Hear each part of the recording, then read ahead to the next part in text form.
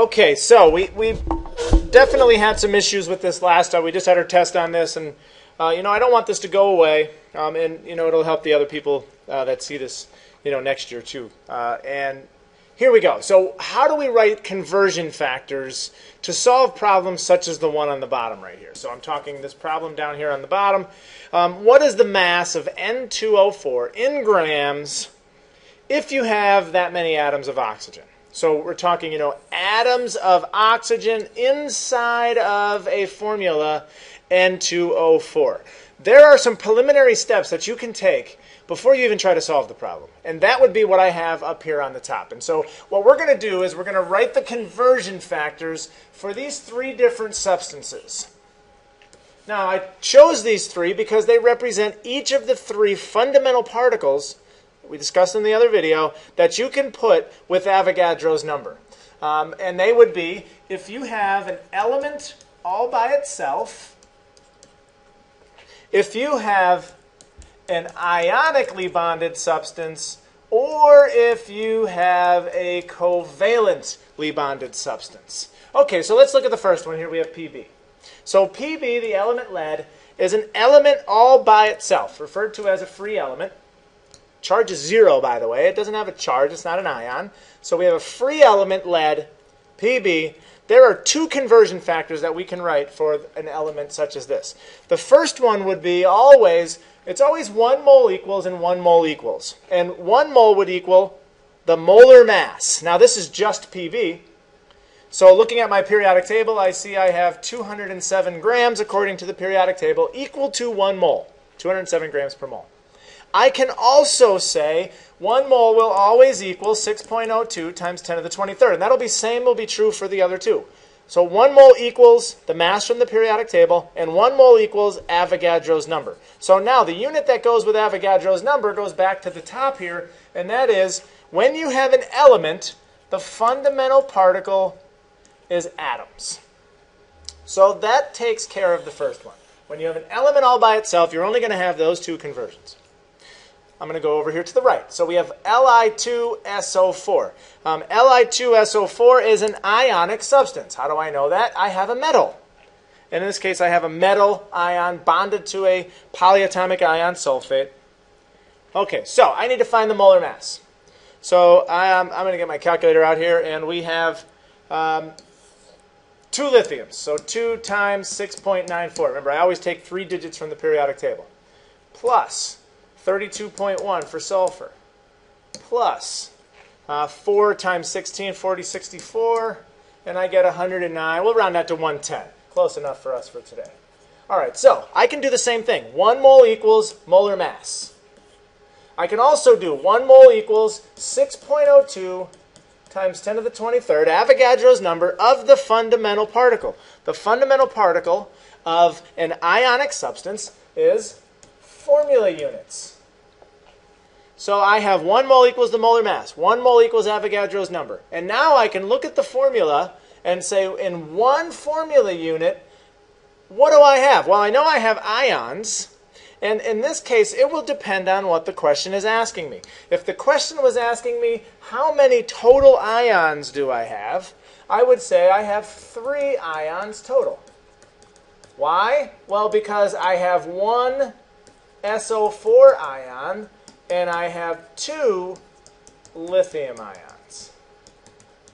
So that's how we solve for the other conversion factors uh, when doing these calculations. So I'll do that again. In one formula unit, you have three total ions, because as I've been preaching with this is it is two halves of an ionic compound. Positive half being lithium, negative half, in this case, being sulfate.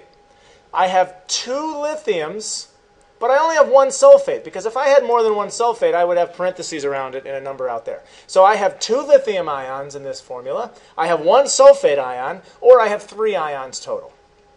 Okay, so now for the big one. Why the big one? Well, because the, we're going to solve the problem on the bottom here, N2O4. I want to come up with the three conversion factors for N2O4. Okay, so up to here, N2O4. It's covalently bonded. When it's covalently bonded, the fundamental particle is a molecule.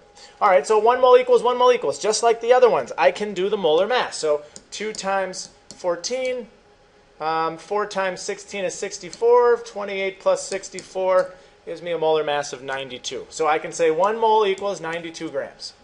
I can say 1 mole equals Avogadro's number of the fundamental particle. It's covalent bond, so molecules.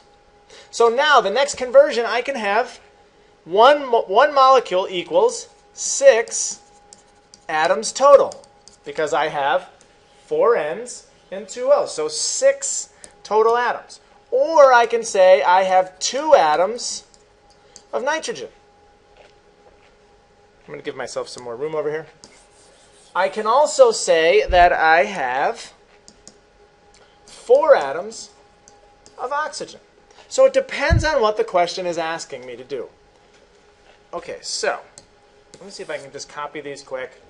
Um, let me uh, copy that. I'm going to go to the next page. Um, and I'm going to paste them just so I can see them again. Okay, so here are my conversion factors that we just got.